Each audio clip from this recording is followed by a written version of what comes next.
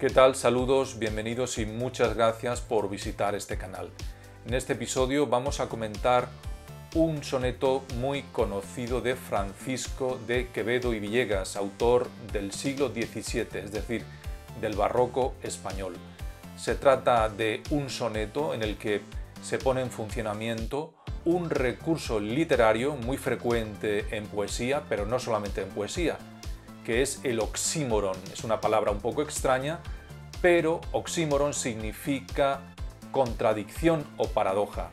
Vamos a ver que a lo largo de todo ese soneto aparecen una serie de expresiones que, siendo contradictorias, siendo paradójicas, lo que nos revelan es un nuevo sentido del sentimiento amoroso, del sentimiento amoroso que se refleja en el soneto. Vamos primero a la lectura, como siempre, y después al comentario. Por lo tanto, comenzamos.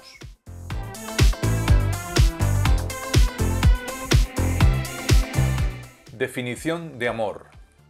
Es hielo abrasador, es fuego helado, es herida que duele y no se siente, es un soñado bien, un mal presente, es un breve descanso muy cansado, es un descuido que nos da cuidado, un cobarde con nombre de valiente, un andar solitario entre la gente, un amar solamente ser amado. Es una libertad encarcelada que dura hasta el postrero paroxismo, enfermedad que crece si es curada. Este es el niño amor, este es su abismo. Mirad cuál amistad tendrá con nada el que en todo es contrario de sí mismo.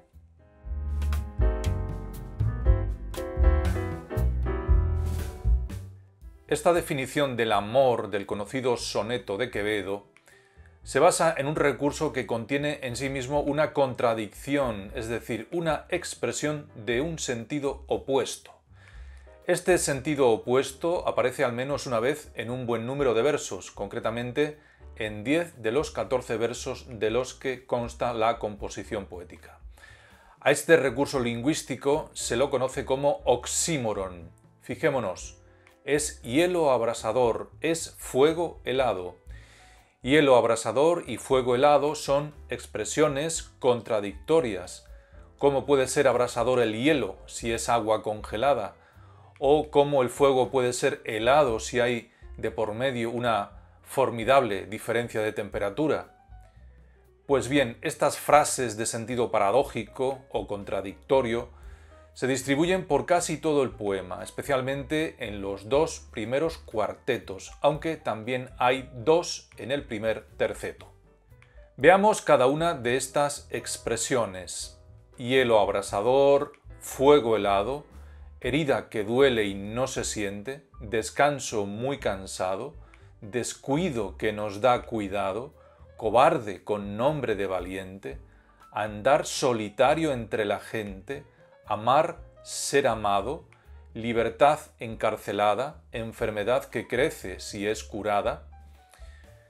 No hay que olvidar que estas expresiones o frases dentro de un contexto literario dejan de ser contradictorias o al menos aportan un nuevo significado.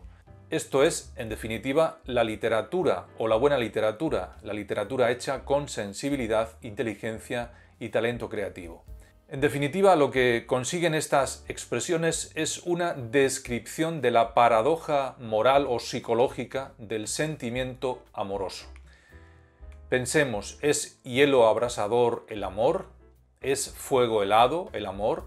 ¿Es una herida que duele y no se siente? es un descanso muy cansado, es un descuido que nos da cuidado, cuidado con el significado antiguo de preocupación o temor. Es un sentimiento cobarde y valiente a la vez, no es solamente ser amado lo que ama el amante, no es una libertad que nos mantiene en la cárcel, no es una enfermedad que si se cura crece. Efectivamente, si alguna vez nos hemos hecho estas preguntas o hemos seguido el hilo argumentativo del soneto quevedesco, diremos que sí, que el amor encierra en sí mismo toda esa serie de contradicciones desconcertantes, demasiado enfrentadas y al mismo tiempo muy plásticas. Y en ellas encontramos la verdad del amor, o al menos una verdad no conocida previamente. Esta paradoja es consciente para la propia voz poética, que ve en este sistema de contradicciones un abismo, una especie de abismo, a la vez que desliza una crítica hacia el Dios amor o hacia el sentimiento amoroso, según lo miremos desde el punto de vista mitológico o psicológico. Este es el niño amor, este es su abismo. Mirad cuál amistad tendrá con nada el que en todo es contrario de sí mismo.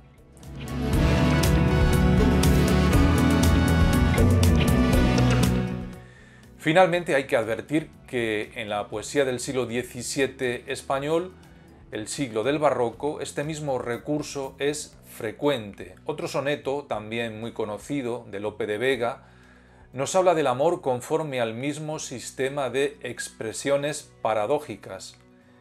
El soneto de Lope de Vega es desmayarse, atreverse, estar furioso, áspero, tierno, liberal, esquivo, alentado, mortal, difunto, vivo, leal, traidor, cobarde y animoso, no hallar fuera del bien centro y reposo, mostrarse alegre, triste, humilde, altivo, enojado, valiente, fugitivo, satisfecho, ofendido, receloso, huir el rostro al claro desengaño, beber veneno por licor suave, olvidar el provecho, amar el daño creer que un cielo en un infierno cabe, dar la vida y el alma a un desengaño. Esto es amor, quien lo probó lo sabe.